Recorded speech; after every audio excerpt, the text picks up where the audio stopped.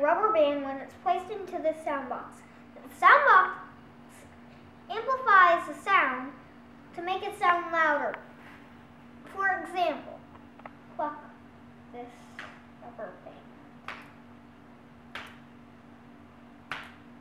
Now, I'm going to stick it in the sound box. Now look. See, the sound amplifies, the sound box amplifies the sound make it sound louder.